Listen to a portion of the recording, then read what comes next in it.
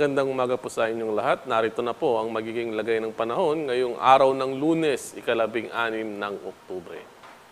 Base po sa ating latest satellite image, ang bagyo pong si Canon o yung dati pong bagyo natin na si Odette ay uh, naglandfall na po dito po sa may katimugang bahagi po ng southern China at inaasahan po na susunod na isang dalawang araw ay malulusaw na rin po ang nasabing bagyo. Samantala, may monitor po tayo ngayon, isa pong tropical depression. Malapit na po ito sa borderline ng Philippine Area of Responsibility.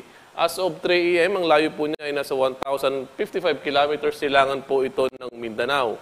Taglay po nito ang malakas na hangin, umabot ng 55 km bawat oras at bugso ng hangin umabot ng 65 km bawat oras.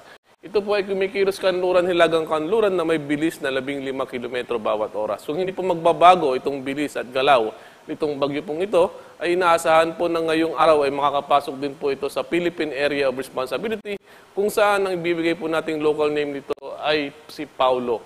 At inaasahan din po na ngayong araw po ay mag-intensify o lalakas po itong uh, tropical depression na ito at maging isang tropical storm.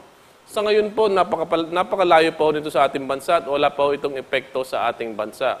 Ang weather system po nakaka-apekto ngayon ay ang ITZZ o Intertropical Convergence Zone kung saan makakapekto po ito sa Mindanao, sa Visayas, ganun din sa katimugang bahagi ng Luzon. At dahilan po sa ITCC ngayong araw po, dito po sa Mindanao, ang buong Mindanao ay makakaranas po ito ng maulap na kalangitan na may mahina hanggang sa katamtamang pagulan at pagkidlat pagkulog. At dahilan po dyan, ang temperatura po sa Mindanao ay bababa po yan at dito po sa Davao at sa Zamboanga ay maaari po itong umabot ng 32 hanggang 30 degrees Celsius, samantalang sa Cagayan de Oro ay maaari namang umabot ng 31 degrees Celsius. Dito naman po sa Visayas, ang kandurang kabisayahan ay makakaranas po ng maulap na kalangitan dahil po yan sa ITCC o Intertropical Convergence Zone at maaari po itong makaranas ng mahina hanggang sa katamtamang pagulan at pagkitlat pagkulog. Ang nalalabing bahagi po ng Visayas, ang silangan at gitnang kabisayahan, ay magkakaroon lamang po ito ng bahagyang maulap hanggang sa maulap. Ibig sabihin po niyan, kung may mga pagulan man, ito po ay dulot ng mga pagkitlat pagkulog o thunderstorms. At ang temperatura po ay mari pong umabot dito po sa Tacloban City, maring umabot ng 32 degrees Celsius. Ganun din po sa Iloilo City, maring umabot ng 32 degrees Celsius. At sa may Metro Cebu, maring naman po umabot ng 31 degrees Celsius. Samantalang dito naman po sa Luzon, ang apektado lamang po ng ITCC ay ang Palawan. At uh, dahilan po dyan, ang Palawan po, ay ang probinsya po ng Palawan ay makakaranas ng maulap na kalangitan na magkaroon ng mahina hanggang sa katamtamang pagulan at pagkidlat pagkulog. Samantalang ang Metro Manila at ang nalalabing bahagi ng Luzon ay magkakaroon naman ng bahagyang maulap hanggang sa maulap. Ibig sabihin po niyan, maganda po ang panahon, maaliwalas, sisikat ang araw, yun nga lang po medyo maalinsangan o mainit. Kaya pagdating ng hapon o kaya gabi, maaari po itong magkaroon ng mga isolated thunderstorms. At ang temperatura po, pinakaminit na temperatura ay maaari pa rin po umabot ng 33 degrees Celsius doon po sa Tuigaraw at sa Maylawag City. Samantalang dito naman po sa Legazpi ay maaaring umabot ng 32 degrees Celsius. Sa Metro Manila at sa Puerto Princesa, maaari naman po umabot ng 31 degrees Celsius. Samantala, alamin naman po natin ang kalagayan ng mga baybaying dagat ng ating bansa.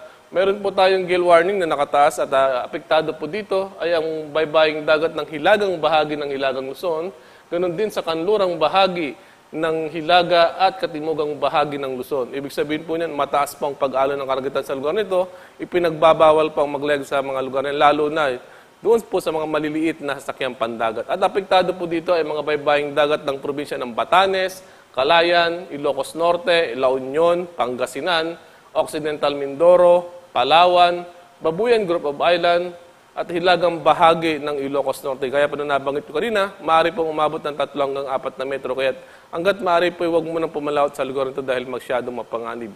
Samantalang ang mga baybaying dagat naman po sa Mindanao at sa kan sa kanlurang bahagi ng gitnang Luzon ay maging katamtaman hanggang sa Maalon. Ang nalalabing bahagi ng ating bansa, banayad hanggang sa katamtaman ng pag-alon.